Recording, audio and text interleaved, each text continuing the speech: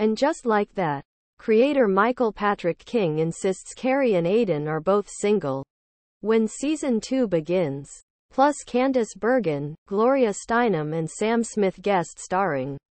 With just weeks left until And Just Like That returns for its second season on HBO Max.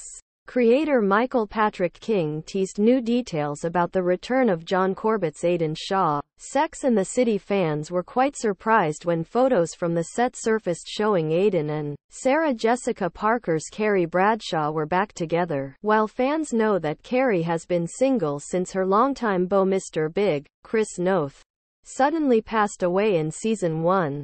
They have also been curious if Aidan was also single when he got back together with Carrie. Aidan was revealed to be married to a furniture designer named Kathy and they share a child.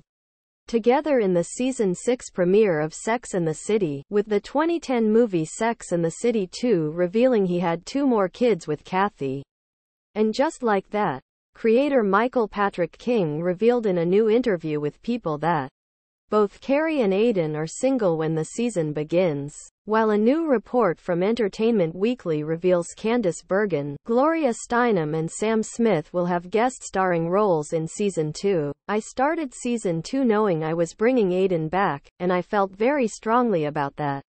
King said in a recent interview. Along with the set photos, Aidan is also seen briefly at the end of a recent trailer for In. Just like that. Season 2, though King adds when he shows up is part of the fun. How, when he shows up, what happens is all part of the great fun and puzzle of writing a series, to somehow give people what they're expecting and yet find ways to have people grow and still be that person, King added. The creator added that he knew he was killing Mr. Big when he started season 1, adding he felt very strongly about that, while he would not divulge more about how Carrie and Aidan reunited again. He insisted both were single at the start of the season. I would not make Carrie Bradshaw a home wrecker. That's the biggest leak I can give you. That's not the story, King teased. The story is, they're open for business. They're both single. You know how she's single. You don't know how Aidan's single, he teased. Meanwhile, King also confirmed that Candice Bergen is reprising her Sex and the City role as Vogue editor Enid Frick. Candice Bergen is back as Enid, which we're thrilled about because I always loved Enid.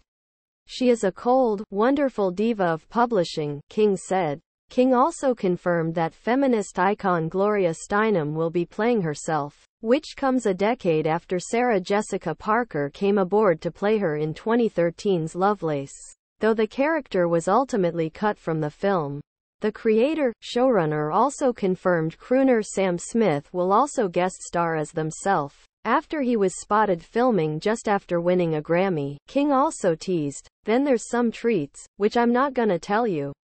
There's a couple of surprises every now and then.